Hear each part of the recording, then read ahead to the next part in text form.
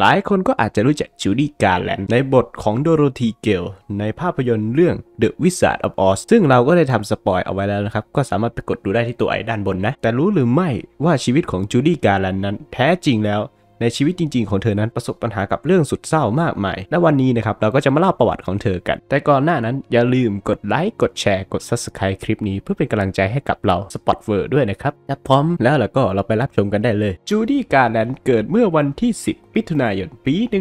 1922 โดยเธอนะครับเป็นบุตรสาวคนที่ 3 นะครับของแฟรงค์ อาเวนกัม และเอเธลมารีน บิลเลอร์ โดยเธอนะครับมีพี่สาว 2 คนนะครับ คนแรกแมรี่เจน และโดโรธี เวอร์จิเนีย กัม โดยก่อนหน้าที่จูดี้การแลนด์นะครับจะลืมตามาดูโลกนะครับเพราะแม่ของเธอนะครับไม่ได้มีคาดหวังที่จะมีบุตรคนต่อไปเลยนะครับเนื่องจากว่าประสบปัญหาทางด้านเศรษฐกิจ โดยพวกเขานะครับคิดจะกินยาทำแท้งอยู่หลายครั้งแต่อย่าลืมนะครับว่าในช่วงเวลาในยุคสมัยนั้น กฎหมายของสหรัฐอเมริกาเรื่องการทำแท้งนั้นถือว่าผิดกฎหมายเพราะอย่างนี้เองครับจูดี้การแลนด์ถึงได้ลืมตามาดูโลกโดยให้ชื่อว่าฟรานเอเธลกัมณเมืองแกรนด์แรพิดส์รัฐมินนิโซตาซึ่งณเวลานั้นครับเพื่อนบ้านนะครับต่างก็สงสัยว่าพ่อแม่ของจูดี้การแลนด์นะครับไม่อยากจะมีเธอเอาเสียเลย เนื่องจากว่าพวกเขานั้นตั้งชื่อของลูกสาวคนที่ 3 นั้นให้ตรงกับชื่อตัวเองนะครับเพราะสังเกตไหมครับว่าชื่อ ฟรานกับแฟรงค์เนี่ยมันจะคล้ายๆกันครับส่วนชื่อกลางอย่างเอเธลนี่ก็เหมือนแม่เป๊ะเลย ซึ่งพ่อแม่ของจูดี้การแลนด์นะครับประกอบอาชีพนักแสดงละครเพลง เธอเคยให้สัมภาษณ์ว่าในช่วงชีวิตวัยเด็กนะครับช่างไม่มีความสุขเอาเสียเลย เนื่องจากว่าพ่อแม่นะครับต่างทะเลาะกัน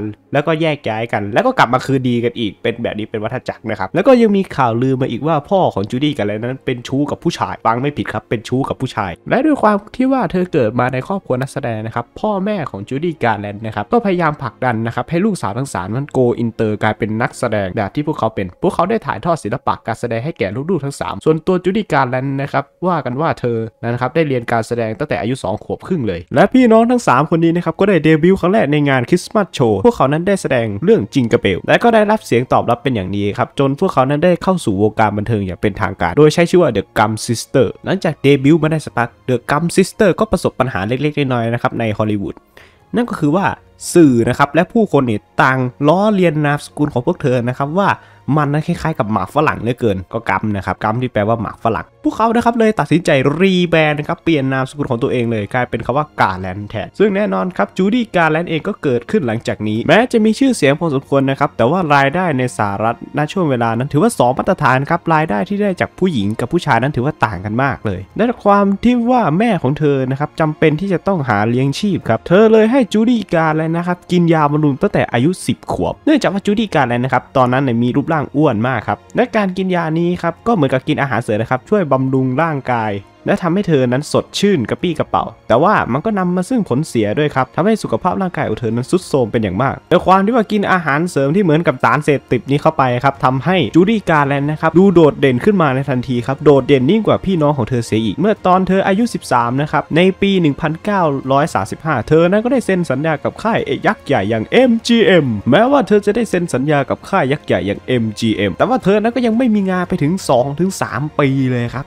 จนกระทั่งเธอนั้นได้เป็นเพื่อนกับ มิกกี้รูนี่ซึ่งมิกกี้รูนี่นะครับเป็นนักแสดง young ซูเปอร์สตาร์ก็คือนักแสดงเด็กที่กำลังโกอินเตอร์รุ่งโรจน์เป็นอย่างมากครับ ทางสตูดิโอเลยเลยเห็นว่าจูดี้การแลนด์นะครับน่าจะเหมาะที่จะแสดงคู่กับมิกกี้รูนี่เธอจับทั้งคู่นะครับมาแสดงร่วมกันอยู่หลายครั้งครับ แต่ก่อนหน้าที่จะได้แสดงกับมิกกี้รูนี่นะครับทางสตูดิโอนั้นเห็นว่าเธอนั้นดูอ้วนจนเกินไป ขนาดกินยาอาหารเสริมของแม่นะก็ยังดูอ้วนอยู่ดีนะครับทางสตูดิโอนะครับก็เลยคิดวิธีการลดน้ำหนักให้กับเธอใหม่อีกครั้งหนึ่งก็คือให้เธอนะครับควบคุมอาหารโดยให้เธอนั้นกินแค่ซุปไก่และกาแฟดำเป็นมื้อหลักแทน และยังไม่พอนะครับทางสตูดิโอถึงขนาดสั่งยาบ้านะครับมาให้เธอกินเพื่อให้เธอดูสู้ผอม โอ้โห อะไรมันจะขนาดนี้เนี่ย ซึ่งก็ส่งผลทำให้เธอนั้น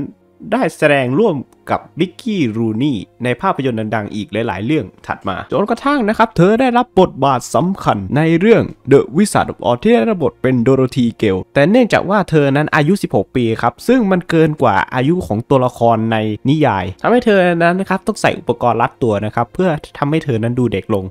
หลังจากเรื่องนี้ฉายจบลงไปครับ ตารางงานของเธอนั้นก็ชุกเป็นอย่างมากครับ เธอนั้นมีชื่อเสียงโด่งดังได้เล่นภาพยนตร์อยู่หลายเรื่อง และเมื่อถึงวัยอายุ 18 ปีนะครับ เธอก็ได้รักใคร่ชอบพอกันกับเดวิดโรส แต่เดวิดโรสคนนี้นะครับได้แต่งงานอยู่ก่อนแล้วครับ เขาเลยจัดการนะครับหย่ากับภรรยาเก่าของตัวเองนะครับ เพื่อที่จะมาแต่งงานกับจูดี้การ์แลนในเวลาถัดมา และทั้งสองนะครับก็ได้แต่งงานกัน แต่ชีวิตของทั้งคู่มีอันเป็นต้องพังลงครับ เนื่องจากว่าจูดี้การแลนนั้นเกิดท้องขึ้นมา แต่ว่าแม่ของเธอนะครับกับทางสตูดิโอ MGM นั้นไม่เห็นด้วยกับการท้องในครั้งนี้ จึงสั่งให้จูดี้การแลนนะครับกินยาเพื่อทำแท้งและด้วยความที่ว่าเชื่อแม่มากกว่าเชื่อผัวของตัวเองนะครับเธอก็ได้ไปทำแท้งลง และส่งผลให้ความสัมพันธ์ระหว่างเธอกับผัวของตัวเองนั้นไม่ดีเอาเสียเลย และก็ได้เลิกลากันในเวลาถัดมานะครับซึ่งตลอดชีวิตของจูดี้การแลนด์นะครับแต่งงานมาทั้งสิ้น 5 ครั้งนะครับซึ่งการแต่งงานครั้งที่4นะครับกับกับมาร์คแฮร์รอนนี่เคยโดนผัวของตัวเองซ้อมด้วยครับอะแล้วผมขอสลับตัดมาที่เรื่องราวของจูดี้การแลนด์ในด้าน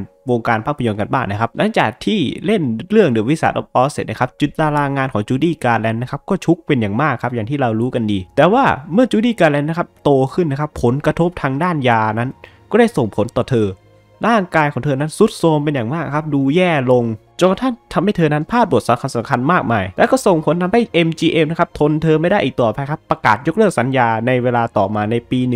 1950 หลังจากที่โดน MGM ยกเลิกสัญญานะครับ เธอก็ไม่ได้มีงานในฮอลลีวูดเป็นเวลาพักใหญ่ๆเลยครับ จนกระทั่งเริ่มส่งผลต่อสถานะทางการเงินของเธอ เธอได้ไปออกรายการวิทยุแห่งหนึ่งนะครับ ได้เล่าว่าเธอนั้นได้ป่วยเป็นโรคซึมเศร้า และเนื่องจาก ราะผลกระทบจากการใช้ยา และตอนนี้เธอก็ไม่มีเงินเหลือเลย หลังจากนั้นครับเพื่อนๆในวงการก็เริ่มเข้าช่วยเหลือเธอนะครับด้วยการส่งเธอนะครับไปเดินสายโชว์ตัวนะครับจนกระทั่งเธอได้รับได้รับความนิยมกลับมาอีกครั้งหนึ่ง และเธอก็ได้รับโอกาส comeback กลับมาในฮอลลีวูดอีกครั้งหนึ่งครับจากภาพยนตร์เรื่อง A Star Is Born ในปี 1954 หลังจากภาพยนตร์เรื่อง A Star Is Born ได้ฉายจบลง ก็ได้รับเสียงวิพากษ์วิจารณ์ในทางบวกเป็นอย่างมากครับ หลังจากนั้นจูดี้การ์แลนด์ก็เริ่มกลับมามีงานอีกครั้งหนึ่ง เธอนั้นได้มีรายการทีวีของตัวเองด้วยครับ นับตั้งแต่จากนี้ไปจนกระทั่งถึงวาระสุดท้ายของจูดี้การ์แลนครับ ชีวิตของเธอนะก็ขึ้นขึ้นลงลงครับ แต่งงานแล้วหย่าแต่งงานแล้วหย่า ก็มีครั้งหนึ่งครับ เธอก็ได้โดนผัวคนที่ 3 ของตัวเองนะครับ ชื่อมีชื่อว่าซิดนีย์ลุฟท์โกงเงินด้วยครับ และก็ยังโดนผัวคนที่4นะครับ อย่าง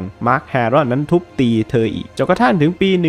1969 นะครับ หลังจากที่เธอแต่งงานกับมิกกี้ดีนซึ่งเป็นผัวคนที่ 5 ของเธอนะครับ ได้ไม่นานนัก เธอนะครับก็ได้ป่วยและเสียชีวิตลงเนื่องจากอาการเสพยาเกินขนาด ในวันที่ 22 มิถุนายนปี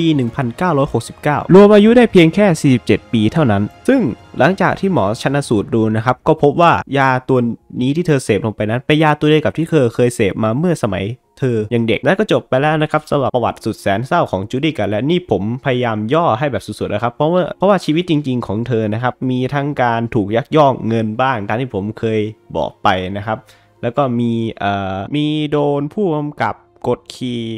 โดนล่วงละเมิดทางเพศในกองถ่ายบ้างอะซึ่งเหล่านี้ผมก็ขอไม่เล่าแล้วกันนะครับ เพราะว่าจะทำให้คลิปนั้นยืดยาวไปมากกว่านี้ อันนี้เป็นประวัติโดยย่อของจูดี้การแลนก็น่าจะรู้เพียงเท่านี้นะครับ ซึ่งจูดี้การแลนนะครับก็ได้ รับการขนานนามว่าเป็นคนที่ตกเป็นเหยื่อรายแรกให้กับวงการฮอลลีวูดนะครับ เนื่องจากว่าความต้องการที่จะโด่งดังนั้นทำให้บริษัทนะไม่แคร์ว่านักแสดงนั้นจะเป็นอย่างไร ทั้งการถูกแม่ของตัวเองนะครับ บังคับให้ทำแท้ง โดยที่สตูดิโอนั้นก็เป็นคนที่หนุนหลัง และสนับสนุนเหตุการณ์ในครั้งนี้ ชีวิตของเธอนะครับควรจะไปได้ดีกว่านี้ครับในสายตาของผมนะอะสำหรับคลิปวันนี้ก็จบแต่เพียงเท่า นี้นะครับ หากคุณผู้ชมชื่นชอบก็อย่าลืมกดไลค์ กดแชร์ กด Subscribe และอย่าลืมกดกระดิ่งแจ้งเตือนเวลามีคลิปใหม่กันด้วยนะครับ คลิปหน้าจะเป็นอย่างไรก็โปรดติดตามกันด้วยนะครับ